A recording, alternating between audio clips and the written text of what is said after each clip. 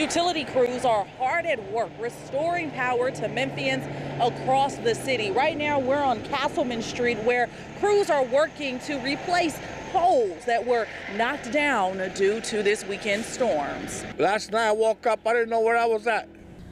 People living along Castleman Street are breathing a sigh of relief as utility crews get hard at work to restore power. We've been without light for about 24 hours. I don't know what's going on. There's a lot of elderly people here I'm worried about.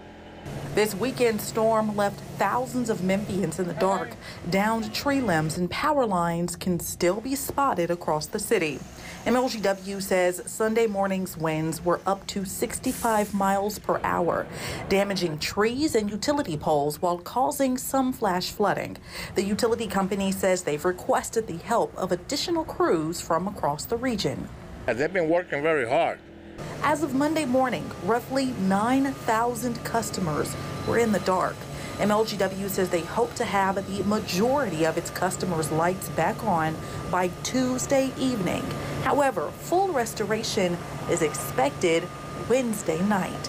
Reporting in Parkway Village, Kwame Trewilborn, WREG News Channel 3.